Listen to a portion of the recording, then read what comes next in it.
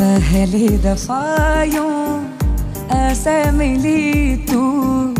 बन गई दिल की